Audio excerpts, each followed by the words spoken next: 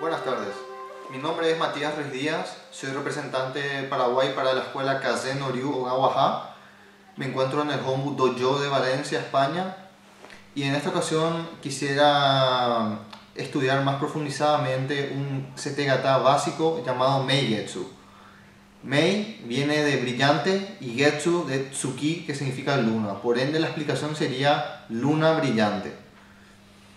Em, quisiera hacer énfasis en, el, en la estrategia o Heiho aplicado a, a este Setegata, pues puede depender, el Heiho puede variar dependiendo del tipo de arma que puede, dependiendo del tipo de arma con que cuente el Shidachi que sería la, el, la persona que ataca primero.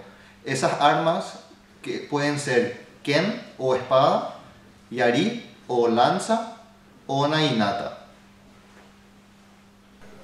Me encuentro en este momento con Shiyoshi Tiago, quien me ayudará con las explicaciones de esta secuencia y que al mismo tiempo hará de Shidachi.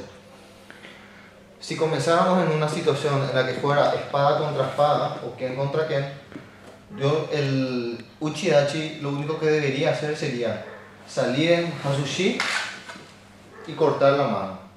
Luego pasamos ahí en los kamae y corto. Luego viene el Chiburi y el Noto. En este caso podemos ver obviamente que el Mai es mucho más reducido que si fuera una nainata o una yari o lanza.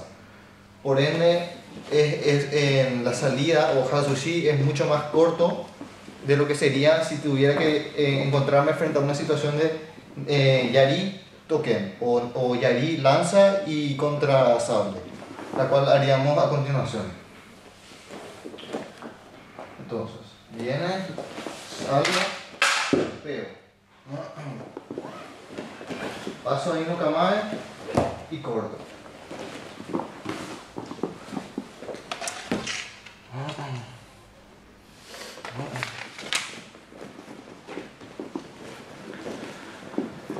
Aquí pudimos notar obviamente la clara diferencia que hay entre una yari y, una, y un sable o ken. Por ende, eh, las, ambas, si usted se pregunta, si alguien se pregunta, los estudiantes o los espectadores se preguntan qué eh, movimentación por parte del Uchidachi sería más correcta. Si un movimiento más eh, pequeño o un paso más grande.